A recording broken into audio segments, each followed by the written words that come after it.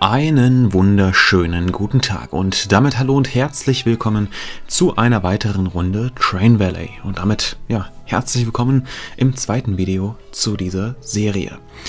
Wir gucken uns heute mal das finale Level aus dem ersten Teilabschnitt an und zwar die Karte Österreich-Ungarn und schlüpfen da auch direkt mal in das Szenario hinein.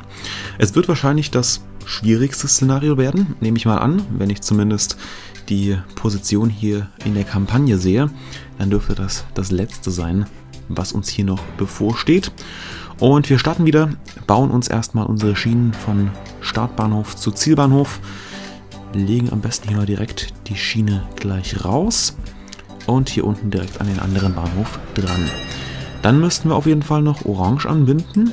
Da ziehen wir uns, ja, wir ziehen das mal auf den kürzesten Weg. Das geht dann jetzt zwar hier direkt durch das Haus hindurch, aber das passt schon. So, einmal nach da oben und einmal nach da unten. Da kommt schon ein Zug, der nach Bahnhof Orange möchte oder in den Bahnhof Orange fahren möchte. Wir legen die Weichen so zurecht. Da kommt die nächste Fahranfrage. Und der Zug darf abfahren in 3, 2, 1.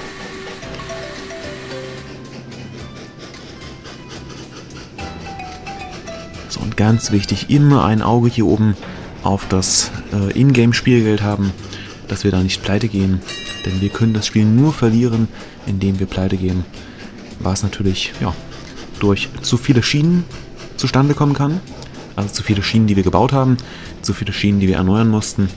Beziehungsweise aber auch durch Züge, die man eben hat entgleisen lassen und die dann natürlich auch Kosten verursachen. So, da kommt der nächste Zug für Orange, der ist schon angemeldet. Ich überlege gerade, ob wir das... Ah, das... Oh, nee, nee, nee. Das wird sehr teuer, wenn wir da durchziehen. Da haben wir verloren. Das wollen wir nicht. Wahrscheinlich ist die Ruine hier als, ich sag mal, besonderes Gebiet gekennzeichnet. Der wird sich dann das Bauamt beschweren und höhere Kosten verlangen.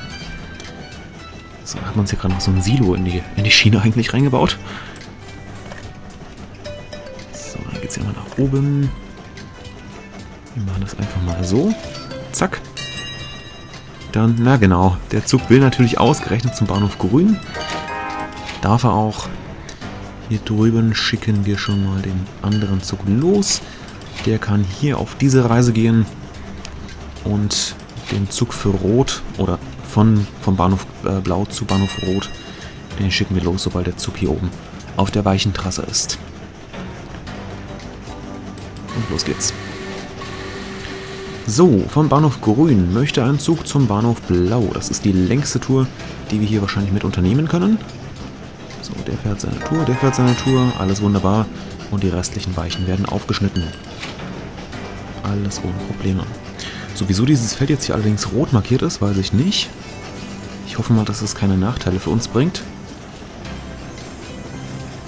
So, wir warten mal mit...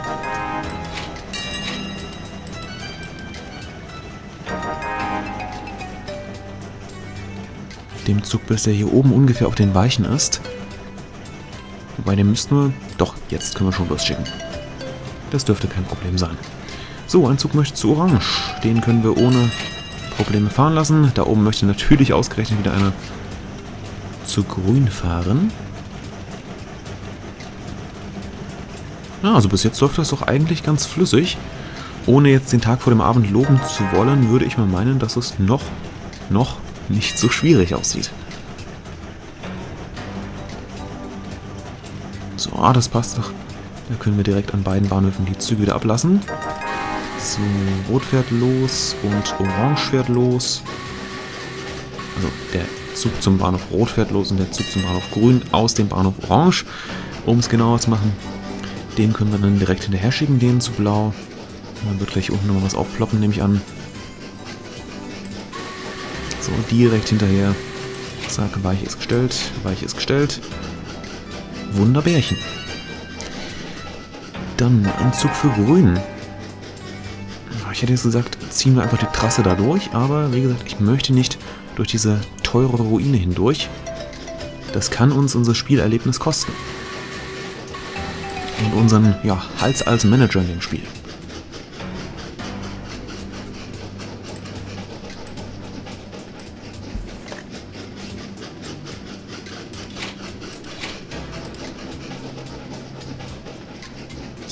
Einmal zu Orange, der darf auch los. Das ist wunderbar. Bisher ist es noch nicht so komplex. Wir haben nur vier Bahnhöfe. Die Züge sind überschaubar und wenn man vom Teufel spricht, wird es natürlich auch gleich der fünfte Bahnhof. So, wir ziehen direkt von hier oben runter. Na. Einmal da rein. So, du willst zu Orange fahren.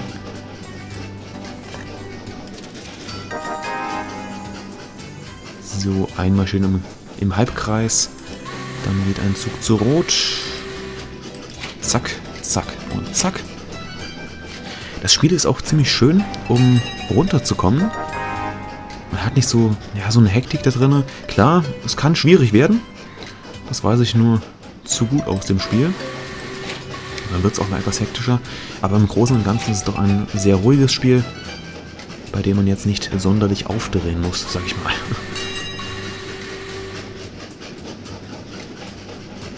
Zu orange, der darf dann gleich raus, wenn hier oben unser Zug zu blau durchgefahren ist und natürlich der Grüne im Bahnhof Grün angekommen ist. So, den können wir auf seine Reise losschicken, weil der Zug ist so schnell, der brauchst mit den drei Holzwagen da ganz fix durch. Und ich mutmaße mal, dass dann hier oben der nächste Bahnhof aufploppt. Also jetzt orange wieder. Ja, immer schön die Augen offen halten wo welche Züge hinfahren. Bingo und Bingo. So, einmal zu Purple hoch, zu Lila. Weichen sind gestellt und der Zug kann abfahren. So, dann macht's wieder Bebing. Schicken wir los, geradeaus, im geraden Strang. Dann möchte ich hier etwas zu lila hoch. Können wir auch gleich machen. Das ist wunderbar. Noch liegen all die Züge von den Bahnhöfen her dicht beieinander. Oh, das könnte ein bisschen zu früh gewesen sein. Nee, es passt noch. Es passt. Es ist knapp, aber es passt. So, der Trudel da rein. Dann einmal zu grün. Wo ist grün? Da unten ist grün. Ja, die waren jetzt alle schon so kurz vor ihren Bahnhöfen. Da wäre es egal gewesen, wo der Zug hätte langfahren wollen. Die kommen da alle ohne Probleme an. So, Orange können wir direkt losschicken. Ist kein Problem. Zack. Und auf geht's.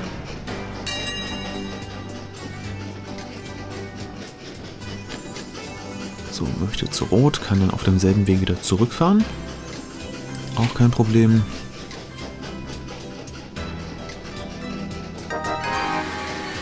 Man muss halt immer so ein bisschen vorausschauend denken hier. Gucken, ob irgendwelche Züge unterwegs sind, äh, die den Fahrplan oder die Trasse des anderen Zugs queren könnten.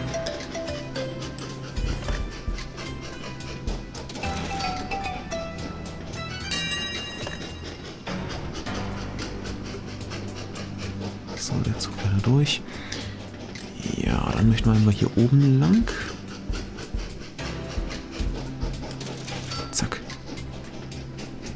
So, ein Zug zu Rot. Den können wir, genau, den können wir jetzt mal hier oben lang schicken. Über den neuen Fahrweg. Dann ein Zug zu Blau, der geht auf Kollisionskurs und den schicken wir los. Oh, das könnte...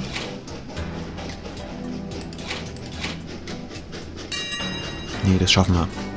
Oh mein Gott, das ist ein langer Zug. Es ist ein langer Zug. Das wird nichts.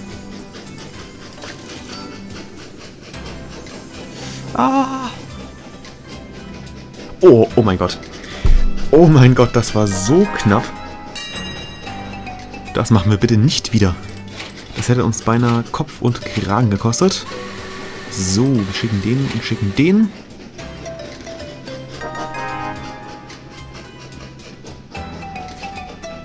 So, dann haben wir einmal lila. Da möchte was zu blau. Wieso habe ich denn das jetzt gemacht? Wieso habe ich den Zug schon losgeschickt? Ich bereue es jetzt schon. Bitte, lass es einen kurzen Zug sein. Bitte, bitte.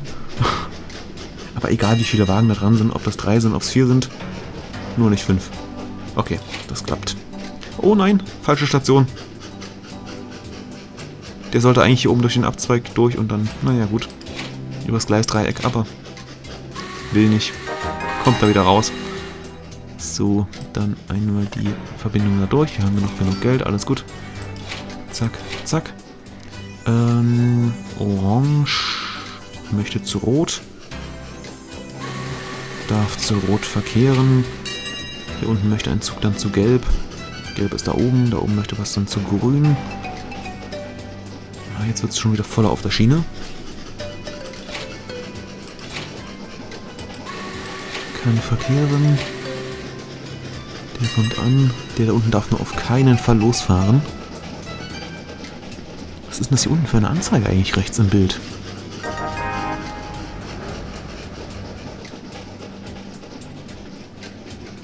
Da geht irgendwas in den roten Bereich. Ach, dann kommen immer neue Züge. Alles klar, die werden dann eingesetzt. So, ein Zug zu gelb. Nee, nee, nee, so, so. Da haben wir uns hier oben jetzt eine kleine Sand Sandweiche mit eingebaut. So, lila. Schicken wir los. Ah, da kommen jetzt wieder die größeren Züge. Wenn ich das Horn schon von dem Zug höre.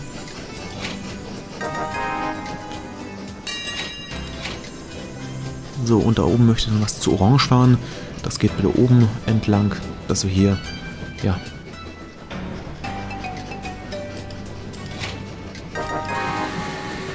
die Züge nicht alle kreuz und quer schicken, sondern dass wir immer so ein bisschen ein System drin haben, dass sie alle in einem, naja, Richtungssinn fahren. Weil wenn wir die auf diesem Ring hier äh, gegeneinander losschicken, dann könnte es halt schwierig werden. Und wenn sie hintereinander fahren, dann haben wir den Vorteil, Ah, wieso? Ach, da lässt sich wieder ein Zug selbst ab. Den haben wir übersehen. Orange können wir gleich hinterher schicken. Zu Gelb. Lila. Nee, Lila schicken wir auf. Schicken wir mal noch nicht los. Der Lila kann aber schon los. So, und der andere Lila bekommt dann hier gleich seine Trasse gestellt und darf hinterher. Blau lassen wir ab. Fährt da oben rein. So, den lassen wir auch los. Der sucht sich bitte seine Trasse auch zur Lila. Der hat sein Fahrwerk da rein. Äh, Rot gibt es dann noch. Wo war Rot? Rot war da unten. Trasse ist gelegt. Die eine Weichenverbindung machen wir uns gleich noch zurecht. Der Zug fährt auch an sein Ziel. Wir haben einen Zug, der zu grün möchte. Das ist ein kurzer Fahrweg. Der wird sofort eingelassen. Und wir haben dann noch einmal Lila im Angebot und Lila möchte natürlich dann den Fahrweg hier über die Schleife nehmen. Können wir ablassen. Zack, Weiche umstellen, Weiche umstellen. Die stellen, die stellen, die stellen. Gerade, gerade, gerade. Und zweimal auf Abzweig. Supi. Dann geht es weiter zu Gelb. Äh, zu Gelb können wir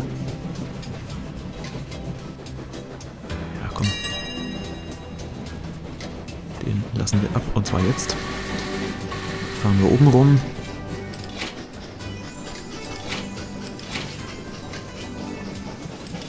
Gleich wird aufgeschnitten.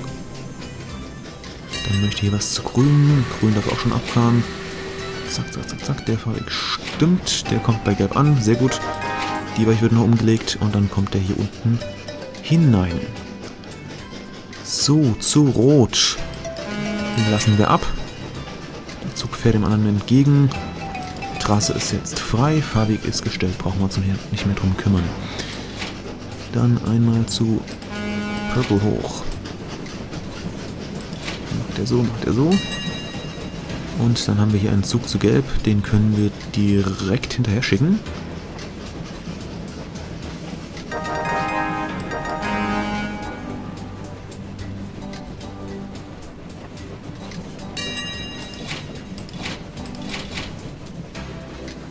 lassen wir den ab. Ach, das war jetzt... Okay, das war jetzt ungünstig gewählt. Aber dann können wir den wirklich ablassen. Der muss zu gelb, dann müssen wir jetzt gegen den Uhrzeigersinn fahren. War eigentlich so nicht geplant. Gerade auf Bogen, auf Bogen. So. Auch die soll auf einen abzweigenden Strang gestellt werden. Der Zug kommt bei Blau rein, der Zug kommt bei Gelb oben an. einen Zug für grün können wir gleich hinterherlassen. So, dann haben wir da unten rechts dann etwas, was zu orange möchte. Orange geht schon mal los. Genau, der ist in der Zwischenzeit unten angekommen. Das passt. So, drüben müssen wir jetzt ein bisschen gucken, weil das ist jetzt wieder ein schneller Zug. Das siehst du an der Lokomotive und das hörst du auch, wenn die im Bahnhof losfährt.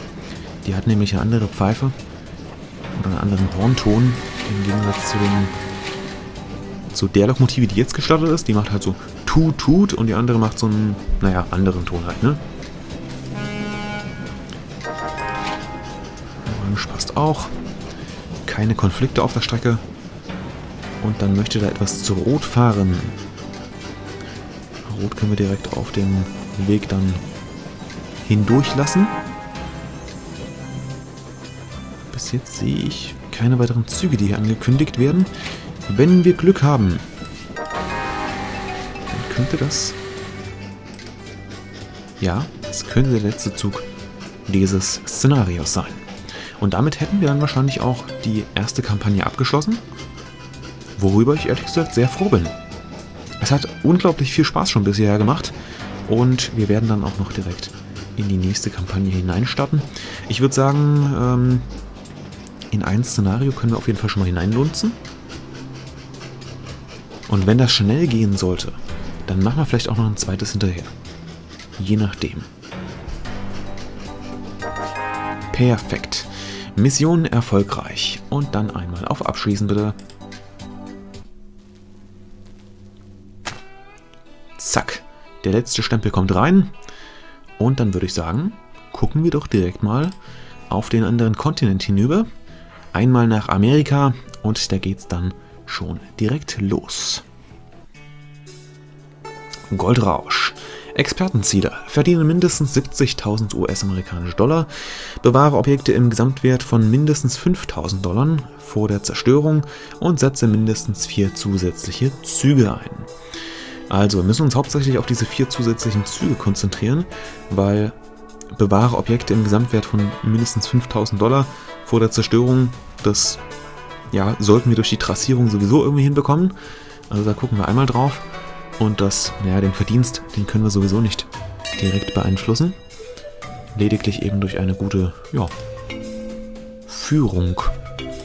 So, wir möchten einmal dahin, dann machen wir das so, so, zack. Und dann geht es einmal hier rum. So, dann geht es einmal hier rum, zack, zack, zack. Dann haben wir den Bahnhof schon mal angebunden. Äh, wir könnten jetzt sagen, dass wir direkt durch den Wald hindurch gehen.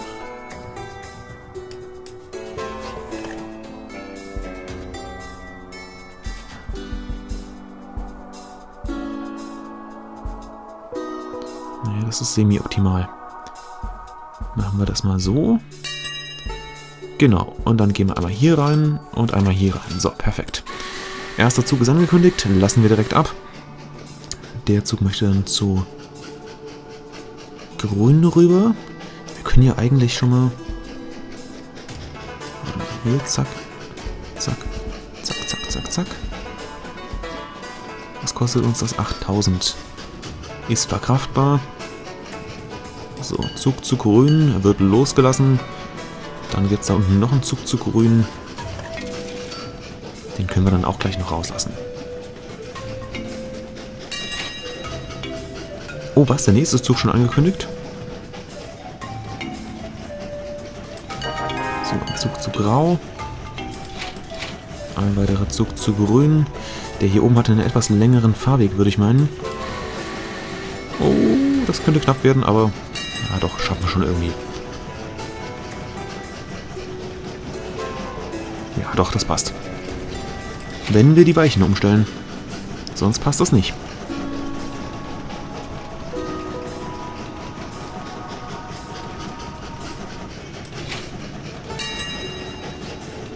Perfekt. Da oben kommt der nächste Bahnhof.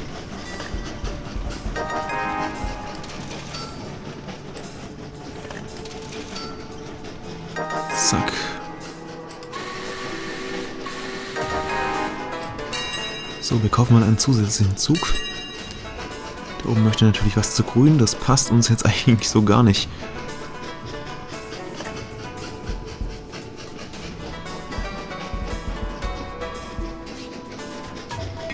Das kostet uns 9000 Dollar. Das ist jetzt etwas un...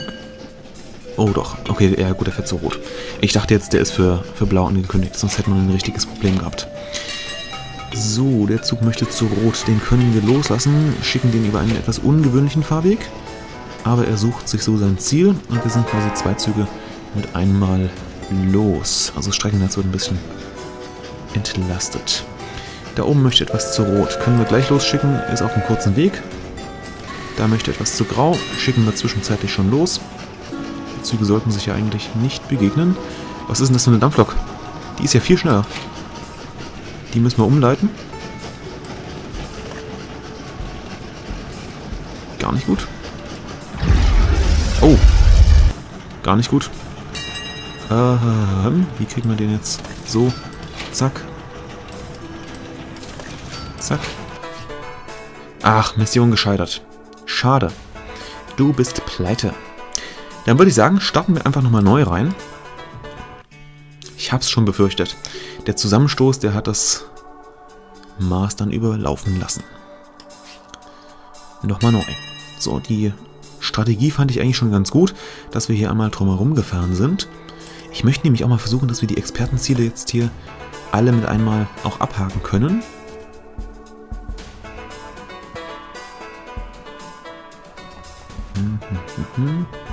So, so,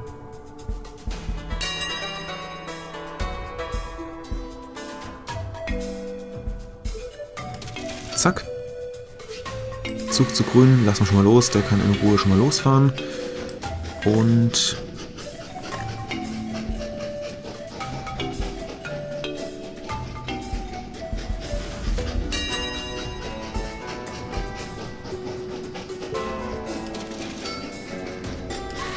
Zug grau darf auch schon abfahren.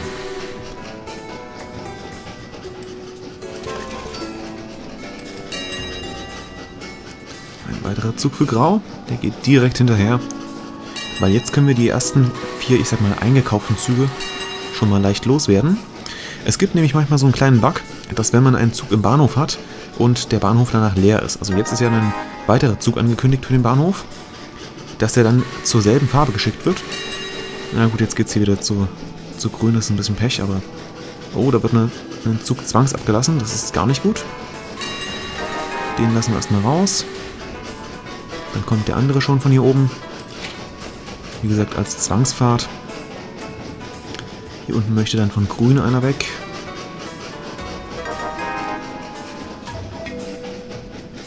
Ja, wir haben doch schon mehr als einen zusätzlichen Zug eingesetzt. Oh oh, ja, das ist jetzt... Ja, das ist ja jetzt unfair. Wenn die sich mitten in der Station dann einfach begegnen.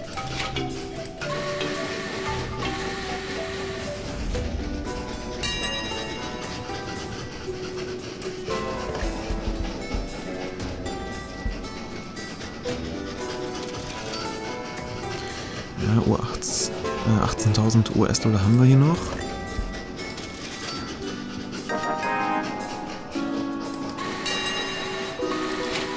Zug zu grün, ein Zug zu grau. Wenn ich jetzt hier oben den wieder ablasse, ich wette, dann kommt wieder dieser ganz schnelle Zug raus. Wenn der Zug hier vorne ist, an der Weiche, dann lassen wir den grauen los. Jetzt bitte. So, dann einmal zu Rot. Der möchte aber zu Grau runter. Da haben wir einen Konflikt. Können wir so nicht losschicken. Wir haben 20.000 Dollar. Können wir da...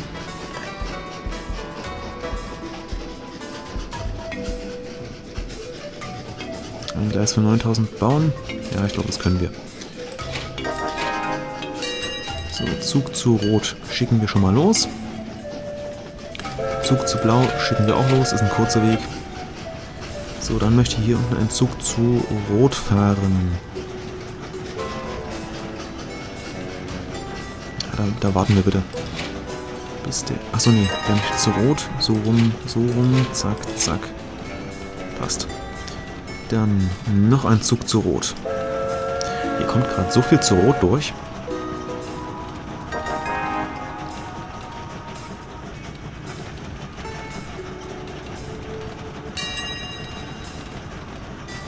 Ich weiß, wir müssen den hier unten gleich ablassen.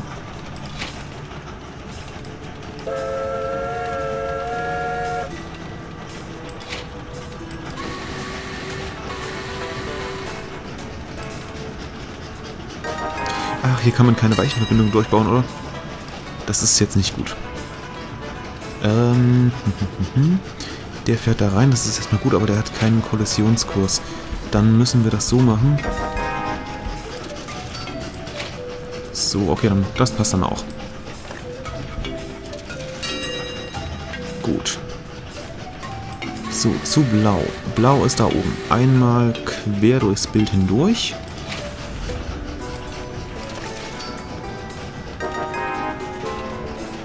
Ein, achso, gelb. Ja genau, jetzt haben wir hier oben noch einen neuen Bahnhof mit drin.